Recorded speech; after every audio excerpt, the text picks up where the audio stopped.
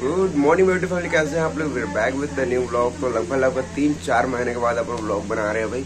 तो स्टार्ट करते ब्लॉग बिना किसी देरी के चलते हैं काम पे। फ़िलहाल तो बाल ऐसे है तो स्ट्रेट वेट किया जाए।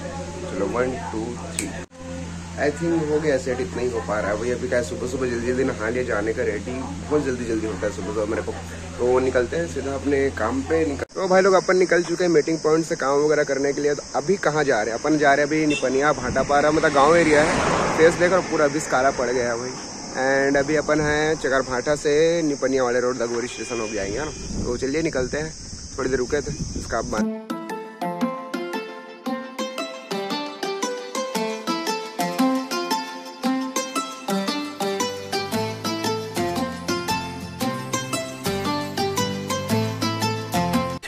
2000 years later. तो भाई लोग, अभी बज रहे हैं साढ़े पाँच। यहाँ लगभग ढाई घंटा रेस्ट कर लिया। भाई, बहुत नींद आ रहा था, थोड़ा बहुत सो भी लिए। अभी अपन निकल रहे हैं निपनिया, एक गाँव है। अपन पूरा गाँव ही गाँव घूम रहे देख पा रहे हो आप लोग। पूरा गाँव ही गाँव जा रहे हैं आजकल। बिलासपुर में कुछ नहीं रखा भाई सेल्स नहीं है बिलासपुर में।